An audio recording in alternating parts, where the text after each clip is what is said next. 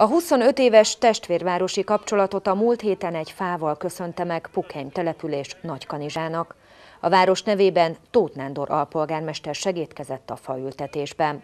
Hosszasan töprengtünk, hogy hol lenne a legméltóbb helyen, és úgy gondoltuk, hogy mivel a szép kertek mozgalomban, a virágos kertek, szép kertek mozgalomban a Kiskanizsai óvoda több alkalommal is első helyezést ért el, illetve kiválóan szerepet ez adta a Kiskanizsai helyszínt. A kiskanizsai óvodások az intézmény kiskertjében minden évszakban szorgosan tevékenykednek.